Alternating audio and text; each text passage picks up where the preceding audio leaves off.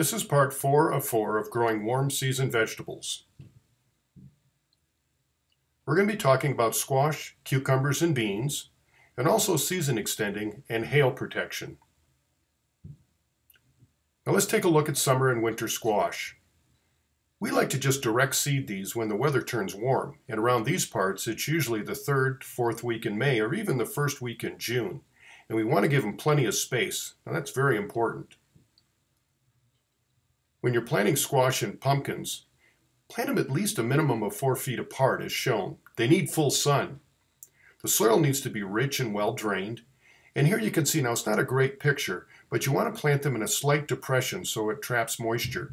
Some people try to plant them on mounds, but then when it gets dry, the water just runs off. We also cover where we plant with a one gallon milk jug. Whether we planted seeds or we bought the transplants from a garden shop, we put these on just to protect it and also keep it a little warmer. The bottom's cut off, and notice there also is a hole cut in the top as well. Now some of our favorite summer squash is Gold Rush Zucchini. This one adds a little color to otherwise just green dishes of zucchini. And our favorite zucchini is a raven zucchini. And the reason we like this one, it is very prolific. It also grows with a more open habit, which means that you can reach in and find the zucchinis. Nothing worse than having those turn into baseball-sized zucchinis that you forgot to get. Another one that's a favorite of ours is Magda. Some people call it Lebanese or Mediterranean. Uh, this one's a little lighter in color, and it grows just like you see here. Some people cut it in half, hollow it out just a little bit, and then stuff it and bake it. It's delicious. Now when you're harvesting zucchini, make sure that it's not too old or not too small. Now the chefs seem to like the one on the right. They say that's the best size. We usually harvest ours when they're about in the middle. But when they get too old, you know, they get seedy inside and a little bit spongy. But some people like them. They grate them up and use them anyways in many dishes, including making zucchini bread. Now here are some common concerns of zucchini and all other squashes and even pumpkins. When the leaves turn powdery like this, and this usually happens in late summer, early fall, uh, that's called powdery mildew, and it can be treated. And as soon as you see it, you want to spray it with a solution of neem oil. Now do it only in the evening because it is toxic to bees if they get wet uh, when it gets when it's on the leaves. So when it dries, it, it apparently doesn't seem to hurt the bees at all, but it will stop your mildew right in its tracks. Next year, plant in an area that gets better airflow and don't crowd your plants because these are two things that do cause mildew, at least cause it to happen a little earlier in the season than it should.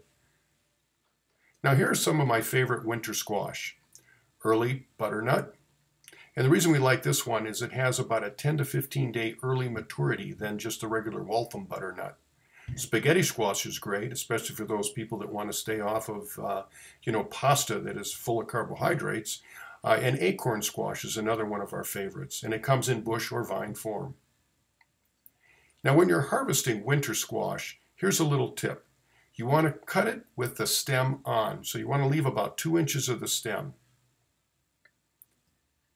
So leave the stem on when you're harvesting. Also, if you harvest before the first light frost, eat within the first few weeks, because those are best. When squash is allowed to go through the first light frost, it tends to harden a little bit, and those are the ones that are better for storage. So the longest storage squash is when a fingernail cannot be easily can easily cut the skin of the squash. And like I said, it's usually after the first light frost. Now squashes need to be pollinated, and they're pollinated by bees, honeybees and bumblebees, and some other insects as well. The squash has two flowers. One is a male and one is a female, which we're going to see in just a little bit.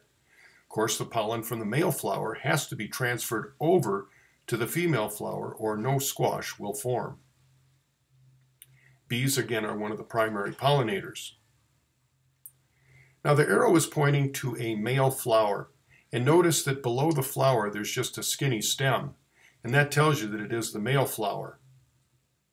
The female flower just below the flower is a swollen stem and that is where the zucchini will actually start to develop if it is fertilized or pollinated as they say by insects or by yourself, by wind.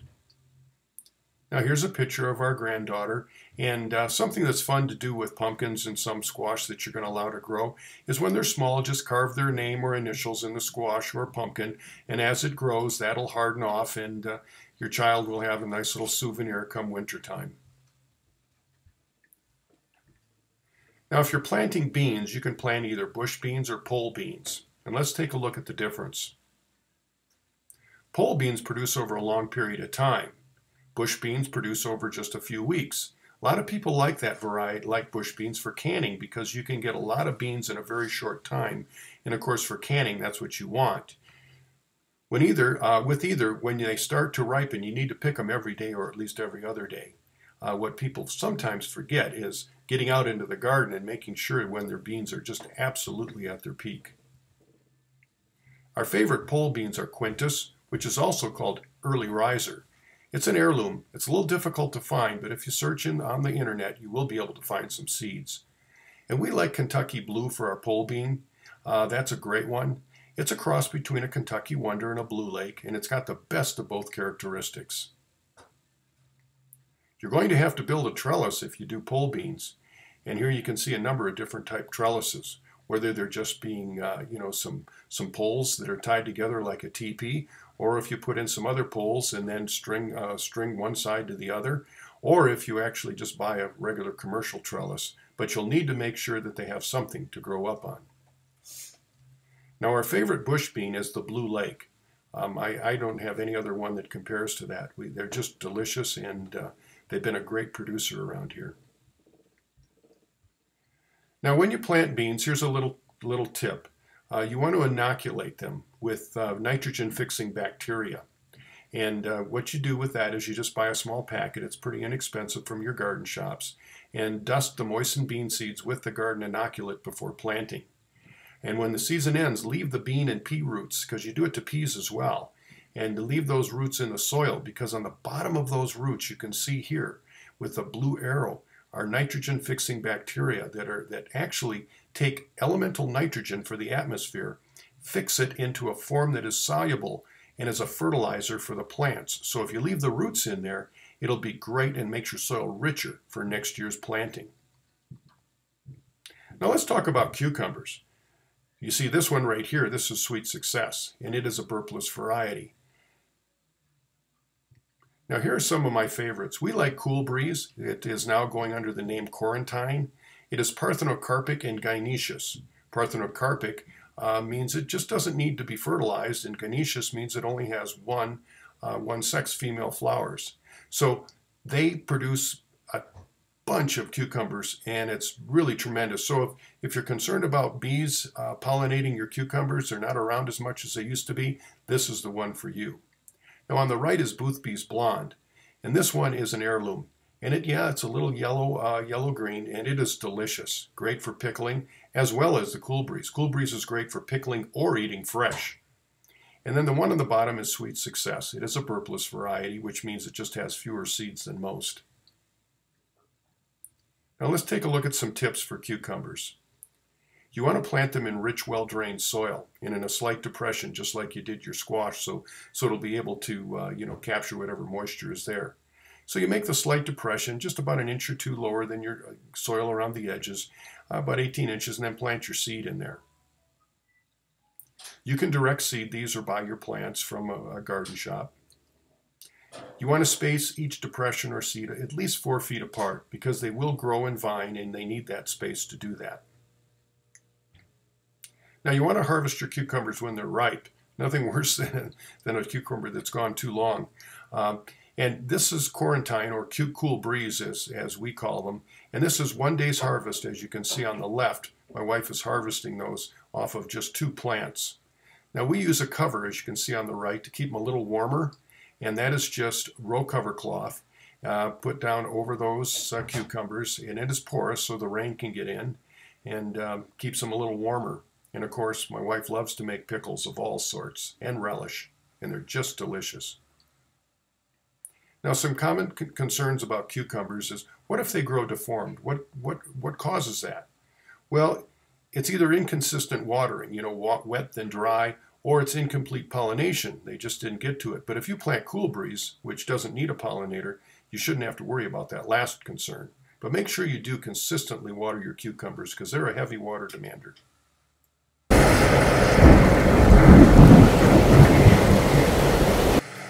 Yes, we get all those. We get wind. We get it's very hot and dry. You know, we get hail. So, you know, you want to protect your plants. And here's one way that we do it. Just just think about this. How can you keep them a little warmer and protect them from the elements like wind, heavy rains, or hail? And uh, of course, containers over the top work. Now, these are some old uh, cooking oil containers that we got from a, um, a restaurant just cut the bottoms off, drilled some holes in it, kept the top off, and we set them on top of things like our broccoli. When we buy our broccoli from the local garden shop, or if we uh, grow them from seed uh, inside and then bring them outside, we want to protect them for a while until they get their, their roots down firmly in the soil and the weather stabilizes, which usually is around the latter part of May or the first week or two of June. Now here's another one of those uh, covers that you saw before. You can see underneath that we just use reinforcement, uh, concrete reinforcement wire. It comes in in uh, three and a half feet by seven foot sheets from your local hardware store. We, we pull it uh, down and uh, you know tie it to a frame like you see and then put 30 ounce weight row cover cloth on top of that and um, it really does a great job and it's porous so it allows the rain and, and you can water right through it but boy it really does a great job of keeping things from the elements now, if you don't want to go to all that trouble, uh, we've talked about it before, wall of waters can be used. You fill the tubes with water. The water warms during the day and the plants are kept warmer during the cool nights. And here you can see a tomato plant that was planted inside. Now here's a little tip. When you're filling them with water and before you plant a plant inside there, we take a five gallon bucket, invert it, put, turn it upside down, and then put our wall of waters uh, uh, uh, you know, just just slide that over the top of it. Now they don't have water in it, so you know they would fall down otherwise.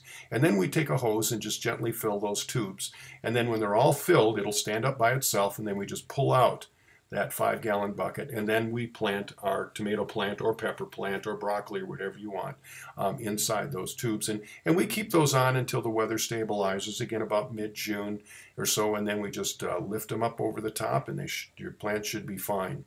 Now with our tomatoes, we'll probably have to stake them once we pull that off. Now here's some kohlrabi that we had planted on May, that planted earlier, about a month before, and we put uh, containers over the top of it with the whole the bottom cut off, and this is them on May 16th. And here's some broccoli that was the same way. It was covered until that date, May 16th. We pulled that off to take this photograph. Now, if you want to do some hail protection, the, many of the local garden shops sell this hail and cold protection cloth, and it works really well. And here you can see some other pictures of it as we've put it over. And we use sometimes use buckets and things and to put over. Here's corn that was covered with an anti-hail cloth, and it did really well. This just shows you some more here.